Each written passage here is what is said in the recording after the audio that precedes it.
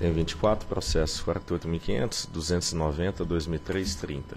Análise do termo de intimação, número 1015 de 2011, lavrado pela SFG, com proposta de aplicação de penalidade de revogação de autorização em face do descumprimento do cronograma de implantação da PCH Cachoeira da Ilha. Diretor relator, doutor André Peptoni.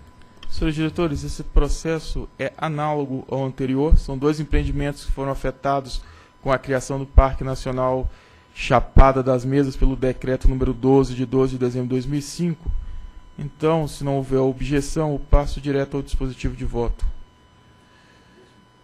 Fundado nesse exame, nas considerações efetuadas no processo 48.500.000.290.2003, dígito 30, voto por arquivar o termo de intimação número 1015-2011 SFG, revogar a autorização para implantação e exploração da, PC, da PCH Cachoeira da Ilha, objeto da resolução autorizativa 735 de 2005, e também por negar o pedido de ressarcimento de eventuais prejuízos incorridos pelo interessado em razão das despesas realizadas na construção do empreendimento.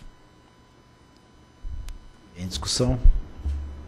Em votação? Voto com o relator. Também voto com o relator. Também voto com ela. Também voto com o relator. Dito decidir por arquivar o termo de intimação- intimação 1015-2011, lavado pela SFG, revogar a autorização para implantação e exploração da PCH Cachoeira da Ilha, objeto da resolução 735 de 18 de dezembro de 2005, e negar o pedido de ressarcimento de eventuais prejuízos incorridos pelos interessados em razão das despesas realizadas na construção do empreendimento.